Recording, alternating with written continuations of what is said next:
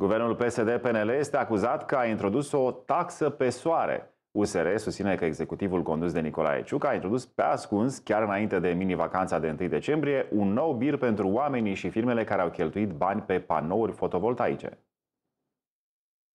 În plină criză energetică, guvernul a introdus o taxă nouă, care îi vizează pe cei care au panouri fotovoltaice. Reprezentanții USR susțin că executivul a făcut acest lucru pe ascuns, fix înaintea mini-vacanței de 1 decembrie. Taxa pe soare vizează cetățenii și firmele care au investit în panouri fotovoltaice, produc curent și îl consumă în propria gospodărie sau firmă. Cetățenii și firmele vor fi obligați de stat să monteze contoare speciale, diferite de contoarele legate la rețelele naționale de energie, doar pentru a putea fi taxați pentru energia produsă de ei, consumată tot de ei, se arată în comunicatul USR. Partidul de opoziție condus de Cătălin Drul a cerut ca această ordonanță de urgență care pune în pericol toate țintele de investiții în energie regenerabilă să nu fie publicată în monitorul oficial și să fie refăcută.